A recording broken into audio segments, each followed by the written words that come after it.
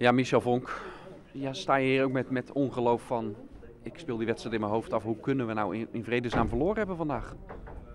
Ja, het voor mij, het, uh, je moet doelpunten maken om wedstrijden te winnen. En als je dat niet doet dan, uh, en de tegenstander wel, dan verlies je. Zo simpel is het. En uh, nou ja, die mogelijkheden hebben we toen gehad. Kun je ploeg dan toch iets kwalijk nemen? Want ze creëren wel die enorme kansen. Ja, ja ze missen ze, maar vraag niet hoe. Ja, natuurlijk wel. We kunnen zelf kwalijk nemen dat we eerst zelf uh, misschien niet genoeg gevoeld hebben. En dat we de kans niet gemaakt hebben die we kregen. De grote kans van Deekman in het begin, ja, die moet je maken.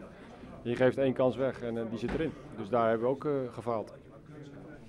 Je creëert wel veel. Ja, waar zit het dan in? Is dat die geluksfactor wat altijd niet aan te raken is? Of, of wat is dat vanmiddag? Ja, als ik het zou weten hadden we waarschijnlijk voor kunnen voorkomen. Dat is ook voetbal. Afgelopen vrijdag hebben we ook uh, een aantal kansen gecreëerd en niet gemaakt. En nu weer. Um, en deze waren nog veel mooier, denk ik, dan vrijdag. Ja, dan moet hij er wel in. En dan breek je de wedstrijd weer open. En dan met alle spirit kun je dan misschien die wedstrijd toch weer naar je toe trekken. Ja, dat hangt wel af van de goal. Het is uh, daarmee gelijk ja, een, zeer vervelende middag. Als je verliest sowieso. Maar ja, het gebeurt op het verjaardagsfeest. Veel oud-spelers, oud-trainers hier aanwezig. Iedereen rekent op een mooie middag. En dan uh, krijg je dit.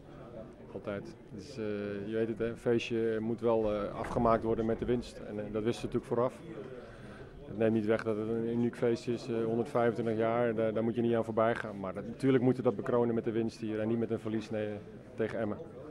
Je zakt ook gelijk op de ranglijst en, en niet één plaats. Er gaan gelijk drie ploegen over je heen. Het geeft aan hoe dicht het allemaal met elkaar staat, maar ook hoe nijpend de situatie is. Ja, ik denk dat deze wedstrijd wel heel belangrijk was. Uh, als je deze verliest, dan uh, inderdaad, dan gaan de mensen over je heen. En dat moet je maar weer rechtzetten. En dat uh, hebben we niet veel wedstrijden meer voor. Dus. Je speelt nog tegen een aantal directe concurrenten, maar je hebt het niet meer volledig in eigen hand nu ook. Dat moet ook geen lekker gevoel geven. Nee, maar dat wisten we vooraf. Dus je hebt niet gedaan wat je moest doen en daarvoor krijg je de prijs. En dat betekent dat je zakt in de competitie. En dat anderen je voorbij zijn en dat je dat niet meer in eigen hand hebt. Dus ja, de eigen schuld, dikke bult als je het positief benadert, uh, vijf wedstrijden, als je ze alle vijf wint, is de kans zeer groot dat je kampioen bent. Als je naar de negatieve kant kijkt, ja, de laatste vijf wedstrijden, heb je dat ook niet laten zien. Waar put jij het vertrouwen dat je het lekker nog boven krijgt in die slotfase die nu zo belangrijk is? Ja, dat we wel uh, het kunnen doen. We hebben het niet voor niks uh, lange tijd bovenaan gestaan. Dat hebben we ook voor elkaar gekregen. Dus uh, waarom zouden we niet die vijf wedstrijden weer een maximaal resultaat kunnen halen? Daar moeten we wel in geloven. En ik geloof daar wel in. alleen je moet het wel doen. En dat is de grote druppel. Is het, de term heb jij zelf gisteren gebruikt, de kampioensstress, waardoor het de laatste weken dan is misgegaan? Ja, noem het wat je wil. Het feestje, het vol stadion, de druk van de koploper, de druk van het kampioenschap. Ja, het speelt allemaal mee. Dus zeg maar. Dan gaan we altijd op zoek ook naar verklaringen waar zoiets door komt. En dan, hoor je van buitenaf, dat hoor je dan alleen als het niet goed gaat. Ja, die soap, dat, dat voert misschien ook weer de druk op binnen Sparta. Die druk die als er groot is, we moeten kampioen worden, dat van het begin af aan is gezegd. Speelt die druk nu echt een aantoonbare rol in jouw ogen? Je werkt elke dag met die spelers. Merk je dat die druk soms verlammend werkt? Ja, juist niet. Ik heb elke keer tot de wedstrijd het idee, nou we zijn ontspannen, we zijn gemotiveerd, we, we weten wat we moeten doen.